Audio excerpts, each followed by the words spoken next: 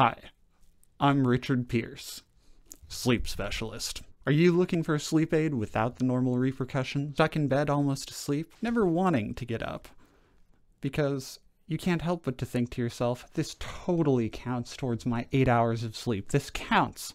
This counts and work is going to go fine tomorrow. As your mind slowly drifts towards madness, then you could be a victim of the late night hungries. Our top podiatrists have discovered quite the solution to this. Half a pound of tater tots, administered orally before bed, can help the patient to comfortably sleep a full 8 to 10 hours a night. Thank you for coming to my TED Talk.